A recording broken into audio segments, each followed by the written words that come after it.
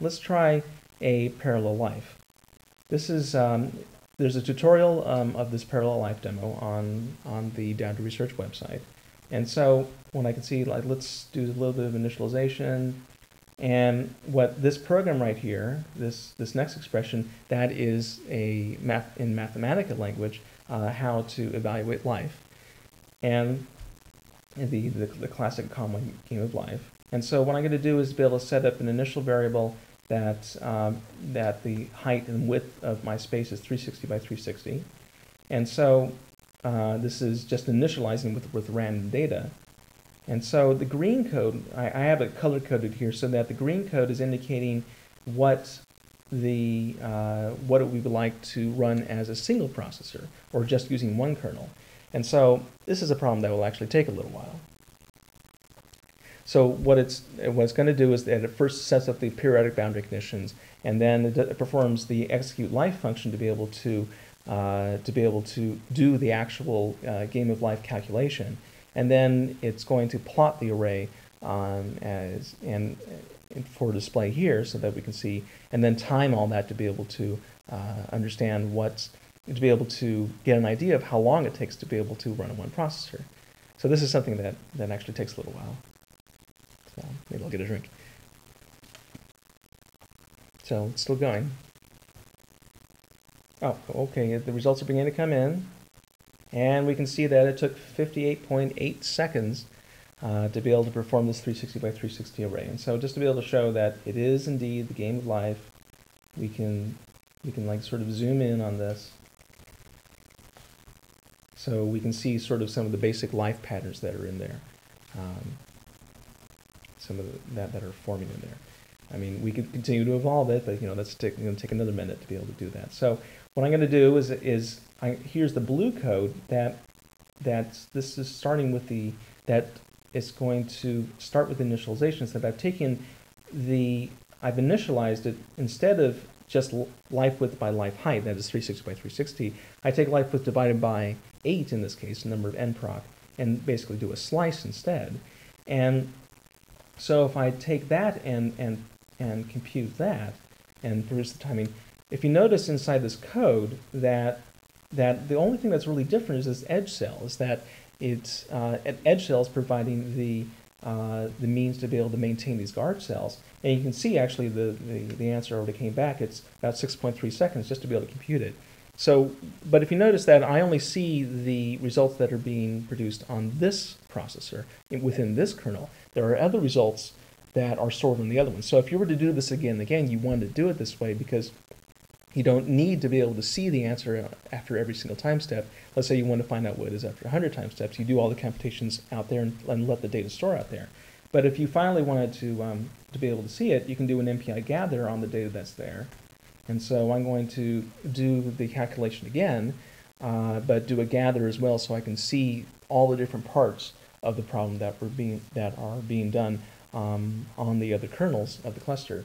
And so I can see that there are eight different parts of the, of the uh, life array uh, being produced on each one of the other kernels. And so if I zoom in on this, what I can see is that I, have the way I've plotted it, actually, let me make this a little bit bigger. The way I've plotted this is that I've plotted it so that I can see the partitions in, in between each one of the um, in between each one of the problems.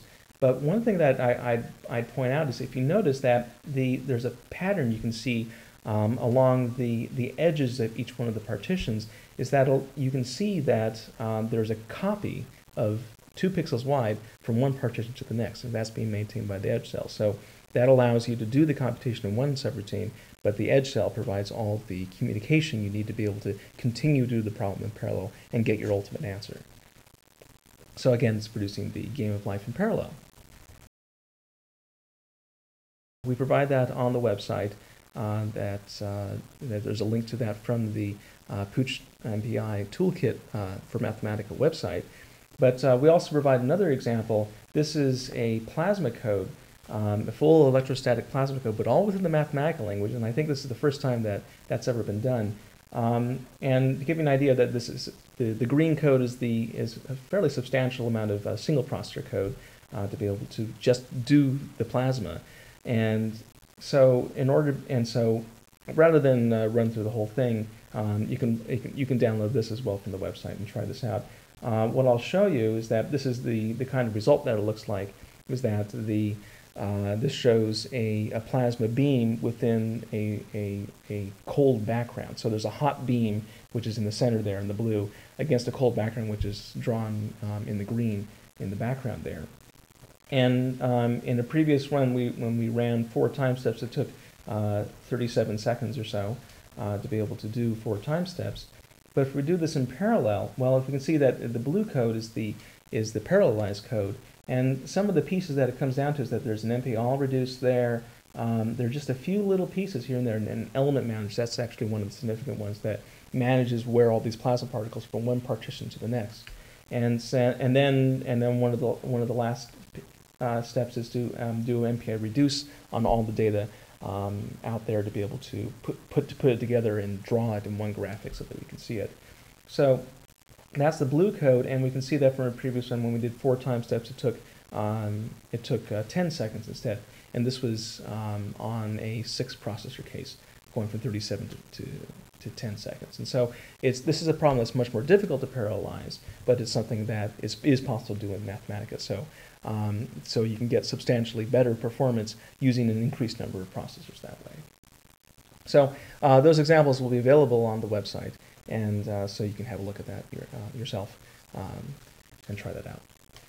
Okay, so let me uh, go back to uh, the slides. So if you want to uh, find out more information to be able to contact us, uh, this is our contact information for myself as well as Zvi Tannenbaum, d at daugerresearch.com, um, as well as via advancedclustersys.com. Uh, but we, you can link to that from the Dauger Research or the acs-grid.com website and, and find out and, and find out more information about the uh, toolkit for Mathematica and Pooch MPI. And if you want more information, we also provide a reference library. that there's the Mathematica website, uh, the Pooch MPI for Mathematica website, daugerresearch.com slash pooch slash mathematica, as well as the Advanced Cluster Systems website, acs-grid.com. Uh, so both websites will, will give you information about math, about our, our new toolkit within Mathematica for high performance computing. We also provide a lot of tutorials on writing parallel code, daugerresearch.com slash pooch slash tutorials.html uh, that provide you the, the plasma example I showed you, as well as the parallel life example, and a number of other tutorials on basic examples, both in Fortran and C, and then now uh, we can do the same in Mathematica. And also we provide uh, various videos, including how we we've done this kind of cluster on national television, uh, interviewed by Doug Llewellyn as well as William Shatner.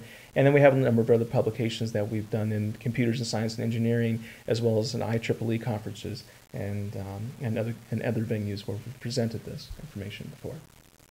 So uh, from there, uh, I wanted to thank you uh, very much for viewing this uh, presentation, and uh, I hope that you'll have a chance to be able to try out the Pooch MPI toolkit for Mathematica yourself and enable and harness the power of high performance computing within the Mathematica environment for, for anything that you desire. So thank you very much for your attention. This is Dean Dauger. Goodbye.